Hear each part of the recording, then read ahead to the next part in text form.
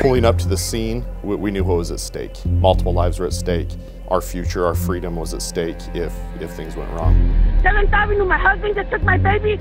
He has a gun. He's loaded. He took the baby. He's trying to kill him. You feel the intensity of it. It's one of those calls that starts out as a fight and then builds into a gun call and then a subject who's actively shooting at people.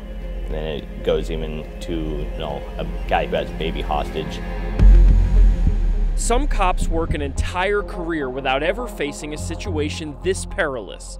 An unpredictable suspect, baby in one hand, gun in the other. It, it almost kind of had like a like a helpless feeling.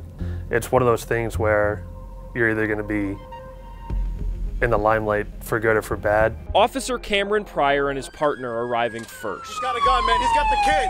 Officers Logan Egnor and Alex Cowan moments later. When I get out of the vehicle with my rifle, he sees that and lifts the baby in front of his head. So I set up on the door. Then I'm just waiting for the opportunity. One shot with no room for error. You're either going to be a zero or a hero on that one. All or nothing moment. So you have to make sure 100% you make that shot.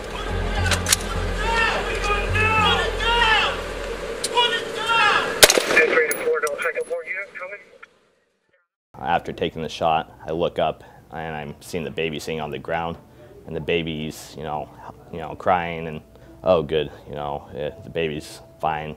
And then, you know, Officer Egnor led the charge up to grab the baby. Hold on, hold on, hold on. No! Get the kid! Get the kid! Come here, buddy! Come on, buddy. Come on. Come on. I got the kid. I got the kid. Everything you think of, every emotion um, across the spectrum uh, went through my head. Um, excitement, anger. Um, was very grateful the kid was safe. And in the chaos of a crime scene, on a nearby curb, the work in this call continues. Hi, Dad. I know. Hey, buddy. I, I felt like we were just doing our job that day. Uh, we're just ordinary people put in an extraordinary position.